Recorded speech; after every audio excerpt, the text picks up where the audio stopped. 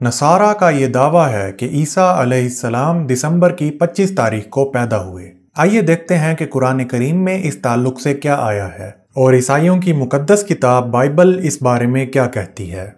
جہاں تک قرآن کریم کا تعلق ہے تو سورہ مریم کی آیت نمبر پچیس میں اللہ تعالیٰ نے فرمایا وحزی علیہ کی بجزن نخلتی تساکت علیہ کی رتبن جنیا اور کھجور کے تنے کو پکڑ کر اپنی طرف ہلاؤ۔ تم پر تازہ کھجوریں گریں گی۔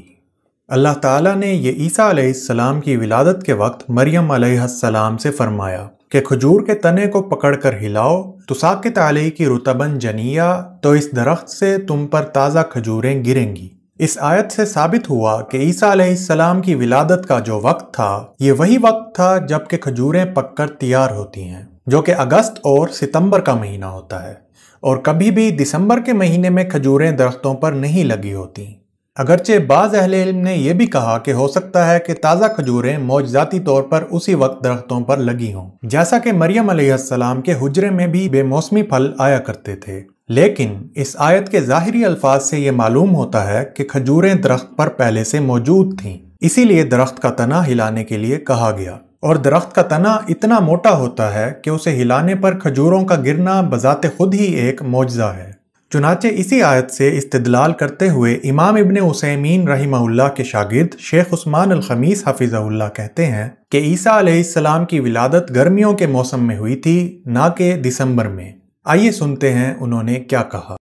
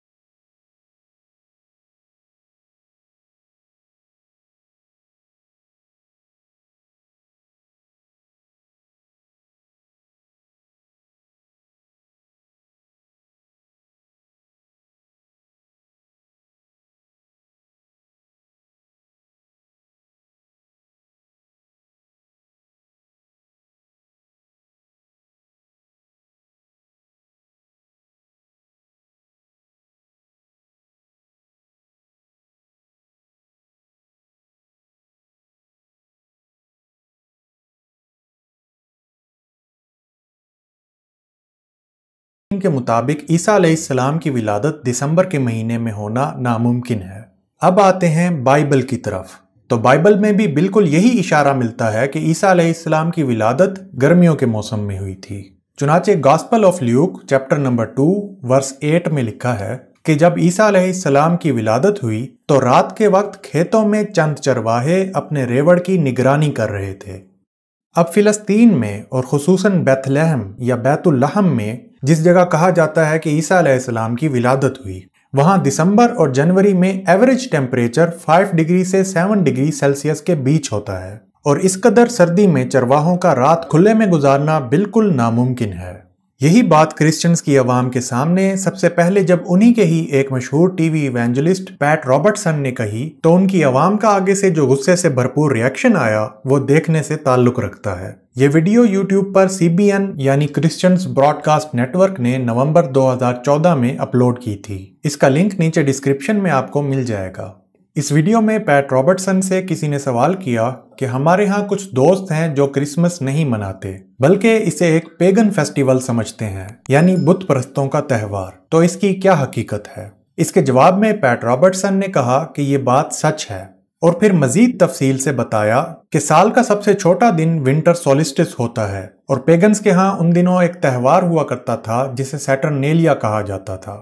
پھر جب اٹلی میں کیتھولک چرچ آیا تو رومنز اور دیگر بت پرست لوگ اپنے تہوار نہیں چھوڑنا چاہتے تھے۔ تو چرچ نے کہا کہ ٹھیک ہے، ہم تہواروں کو کرسچنائز کر دیں گے یعنی عیسائیت کا روپ دے دیں گے۔ اور ہم لوگوں کو یہ کہہ دیں گے کہ پچیس دسمبر کو عیسیٰ پیدا ہوئے تھے۔ پھر پیٹ رابرٹسن نے بتایا کہ کیسے پچیس دسمبر عیسیٰ علیہ السلام کا یوم ولادت نہیں ہو سکتا اور کہا کہ اس رات چرواہے کھیتوں میں رات گزار رہے تھے، مگر رات کو تو ٹھنڈ ہوتی ہے۔ کیا وہ سردیوں کے بیچوں بیچ رات باہر گزار رہے تھے؟ اور کہا کہ میں بھی وہاں شیپرڈز فیلڈ میں گیا ہوں اور میں نے وہاں کرسمس کی شام گزاری ہے۔ اگرچہ جگہ اچھی ہے، مگر وہاں سردی ہوتی ہے۔ اور پھر یہ سب کچھ کہنے کے بعد پیٹ رابرٹسن نے سراحت سے کرسچن ٹیلی ویژن پر کہا کہ یہ مسنٹل والا سارا بزنس پیگن ہے یعنی بت پرستوں سے لیا گیا ہے۔ کرسمس ٹریز پیگن ہے لوگوں کو تحفے تحائف دینا پیگن ہے۔ کرسمس کی ہر ایک چیز پیگن ہے۔ Every single bit of it is pagan we have Christianized it all یہ بڑا اہم جملہ ہے۔ وی ہیو کرسچنائزڈ اٹ آل ہم نے اس سب کو عیسائیت کا روپ دے دیا۔ تو ناظرین، یہ ہے حقیقت کرسمس کی کہ کیسے یہ ایک بت پرستوں کا تہوار تھا جسے عیسائیت کا روپ دے دیا گیا۔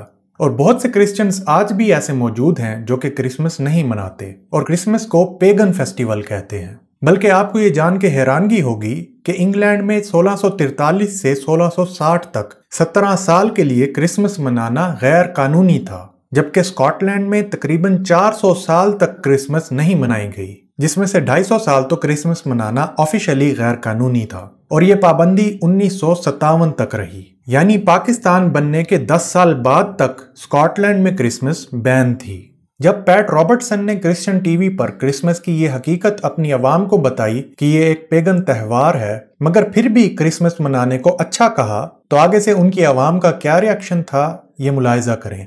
یہ ویڈیو سی بی این کے دو آفیشل چینلز پر ایک ہی دن اپلوڈ کی گئی۔ ایک پر ویوز بہت کم ہیں، تقریباً ساڑھے نو ہزار ہیں، اور ایک پر ویوز ایک لاکھ سے بھی زیادہ ہیں۔